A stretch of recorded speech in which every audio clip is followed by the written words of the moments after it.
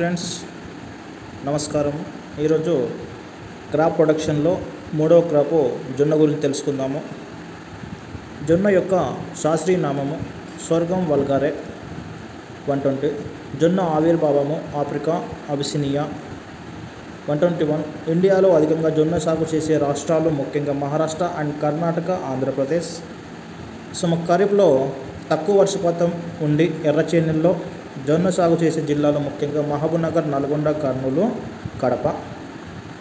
అధిక వర్షపాత ప్రాంతాలు ఆదిలాబాద్ మెదక్ రంగారెడ్డి ప్రకాశం. మాగి ప్రాంతం ముఖ్యంగా ఖమ్మం వరంగల్ నల్గొండలో జొన్న వేసుకుంటారు. నంద్యాల లోయ ప్రాంతంలో ముఖ్యంగా కడప అలాగే కర్నూలు ప్రాంతంలో వేసుకుంటారు. అలాగే ముఖ్యంగా సాధారణ రవి ప్రాంతాలు ఆదిలాబాద్ మెదక్ రంగారెడ్డి నిజామాబాద్ అలాగే మన కరీంనగర్ అలాగే కర్నూలు మహబూబ్నగర్ జిల్లాలో కూడా దీన్ని సాగు చేసుకుంటారు. అలాగే ఆలస్యంగా జొన్న పండించే రవి ప్రాంతాలు ముఖ్యంగా నెల్లూరు ప్రకాశం జిల్లాలో. కంకి కండే ఆకారంలో ఉండి బూజు తెగులను తట్టుకునే అన్ని అన్ని కాలాలకు అనువైన రకము సిహెచ్ఎస్ ఫైవ్. చొప్ప తక్కువ నాణ్యత ఉండి జొన్న మిల్లిన తట్టుకునే రకము. ఎన్ వన్ త్రీ పచ్చ జొన్న. జొన్న మిల్లును తట్టుకుంటుంది. One thirty. ఎన్ థర్టీన్ కంటే గింజలు చొప్ప ఎక్కువ ఇచ్చే రకము. ఎన్ ఫోర్టీన్ పచ్చ జొన్న. కాండం కళ్ళు తెగులను కొంతవరకు తట్టుకొని మొవ్వయిగా శనగపచ్చ పురుగును ఎదుర్కొనే రకం వచ్చేసి ఎన్టీజీ ఫోర్. జొన్న వర్షపాతం ముఖ్యంగా నాలుగు వందల నుంచి వెయ్యి ఎంఎం పిహెచ్ వచ్చేసి నేల పిహెచ్ ఐదు పాయింట్ ఐదు నుంచి ఎనిమిది మధ్యలో ఉంటుంది. అలాగే జొన్నను విత్తు సమయము ఖరీఫ్లో June మాగిలో September rabi October late rabi అయితే కనుక నవంబర్ వేసవిలో అయితే కనుక జనవరిలో విత్తుకోవాలి. అలాగే జొన్న విత్తనం మోతాదు మూడు నుంచి నాలుగు కేజీల విత్తనము ఒక ఎకరకు సరిపోతుంది. విత్తన శుద్ధి కనుక చేయాల్సి వస్తే విత్తన శుద్ధి ముఖ్యంగా థైరామ్ క్యాప్టెన్ను ఉపయోగిస్తారు. విత్తన దూరం వచ్చేసి నలభై ఐదు ఇంటూ ట్వెల్వ్ ఇంటూ నలభై ఐదు into twelve to fifteen centimetres. నలభై ఐదు అనేది వర్షాల మధ్య దూరము ఈ ట్వెల్వ్ టు ఫిఫ్టీన్ అనేది మొక్కల మధ్య దూరము. జొన్నలో ఎరువుల మోతాదు నీటి కింద అలాగే వర్షాధారం కింద. చూసుకుంటే ముఖ్యంగా ముప్పై రెండు నుంచి నలభై కేజీలు నీటిపారుదల కింద ఇక్కడ వర్షాధారం కింద అయితే కనుక ఇరవై నాలుగు నుంచి ముప్పై రెండు కేజీస్ ఒక ఎకరానికి. అలాగే ఇరవై నాలుగు కేజీలు పదహారు పదహారు ఆ పన్నెండు. దీన్ని బట్టి మీకు ఏం అర్థం అవ్వాలంటే నీటిపారుదల కింద ఎప్పుడు కూడా ఎరువులు ఎక్కువగా ఉపయోగిస్తాము. One thirty six. జొన్నలో తేమ సున్నిత దశలు పూత గింజ పాలు పోసుకునే దశలు. జొన్నలో ముఖ్యంగా కలుపు నివారణకు అట్రజన్ వాడతారు. ఈ అట్రజన్ను ఎకరాకు ఎనిమిది వందల గ్రాముల వరకు వాడతారు. జొన్న విత్తినాక ముప్పై ఐదు నుంచి నలభై రోజులకు జొన్న మల్లె మొలకెత్తుతుంది. జొన్న మల్లె నివారణకు వాడే మందులు అమోనియం సల్ఫేటు యాభై గ్రాములు లీటర్ నీటికి యూరియా రెండు వందల గ్రాములు లీటర్ నీటికి two four D sodium salts రెండు గ్రాములు లీటర్ నీటికి వాడుకోవాలి.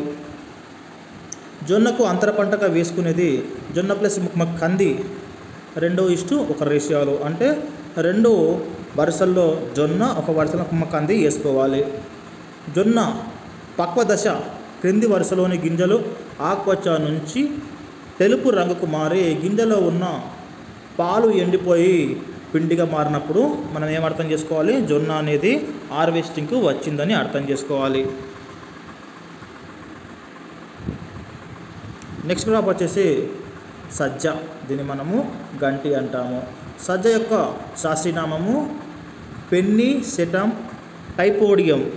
దీనికి వేరే పేర్లు కూడా ఉన్నాయి. దీన్ని పియర్ మిల్లెట్ అంటారు. అలాగే కట్టెల్ మిల్లెట్ బల్డ్రస్ మిల్లెట్ అని కూడా అంటారు. సజ్జ ఆవిర్భావము ఆఫ్రికా ఇండియా. దీన్ని ఇంగ్లీష్లో ఏమంటామంటే బాజ్రా అంటాము.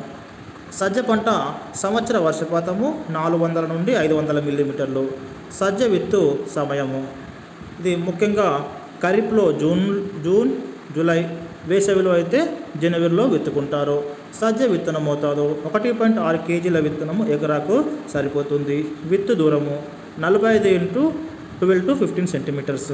ఇలా విత్తుకుంటే మనకు ఎకరానికి యాభై ఎనిమిది వేల నుంచి డెబ్బై రెండు వేల మొక్కలు అనేవి ఎకరాకి ఎకరా పడతాయన్నమాట. సజ్జ విత్తన శుద్ధి ఉప్పు ద్రావణము రెండు గ్రాములు లీటర్ నీటికి లేదా మ్యాంకోజెక్ మ్యాంగోజెబ్ లేదా తైరం మూడు గ్రాములు ఒక కిలో విత్తనానికి.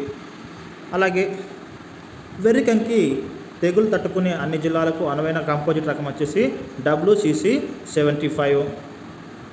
వర్ష బార వర్ష బావ పరిస్థితులు తట్టుకునే రకము మల్లికార్జున.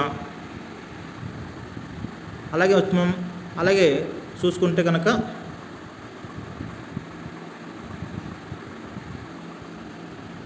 గింజలు లావుగా గింజలు లావుగా తెల్లగా ఉండి వెర్రికంకి తెగులను బెట్టును తట్టుకునే రకము ICTP eight two zero three. అలాగే వెర్రి కంకి తెగులను తట్టుకునే అన్ని ప్రాంతాలకు అనువైన డబ్ల్యూసీసీ సెవెంటీ ఫైవ్ కంటే మేలైన రకం వచ్చేసి ఐసీఎంయు టూ టూ వన్. ఇది ఒక ఇది ఒక కంపోజిట్ రకం అన్నమాట సజ్జ ఎరువుల మోతాదు నీటిపారుదల కింద ఎన్పికే ముప్పై రెండు పదహారు పన్నెండు ఎన్పికే అన్నమాట. కిలోగ్రామ్స్ ఎకరానికి వర్షాధార పంట అయితే కనుక ఇరవై నాలుగు పన్నెండు ఎనిమిది కేజీలు ఒక ఎకరానికి. సజ్జ యొక్క తేమ సున్నిత దశలు దుబ్బు చేసే దశ పిలక దశ పూత దశ అలాగే పాలు పోసుకునే దశ. సజ్జ కలుపు నివారణకు అట్రాజెన్ నాలుగు వందల నుంచి ఆరు వందల గ్రాములు ఎకరానికి వాడతాము. సజ్జ అంతర పంటలో సజ్జ ప్లస్ కంది రెండు ఇష్ట ఒకటి రేషియోలో మనం వేసుకోవాలి.